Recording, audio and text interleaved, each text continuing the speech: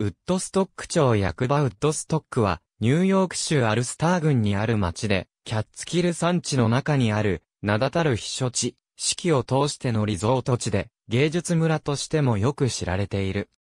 ウッドストックは、アメリカ合衆国ニューヨーク州アルスター郡にある町で、キャッツキル山地の中にある、名だたる避暑地であり、四季を通してのリゾート地で、人口は約6000人。芸術村としてもよく知られている。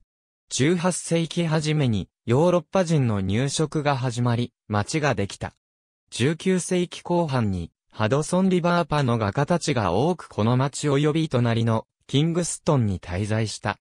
その後、アーツムーブメントに関連した施設ができたりして、多くの文化人や芸術家が集まるところとして有名になった。哲学者のジョン・デューイ、画家の国吉康夫、ミュージシャンのジミー・ヘンドリックス、ボブ・ディランなどが住んでいた。ウッドストックフェスティバルの開催地は、ウッドストックからベッセルへ変更された。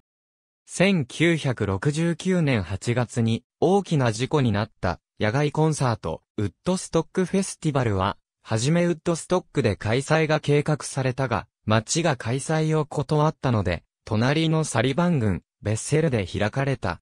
有名な避暑地としてのウッドストックと大都市、ニューヨークとの関係は、東京と那須高原のような関係で、有名な文化人もこれまで多く居住している。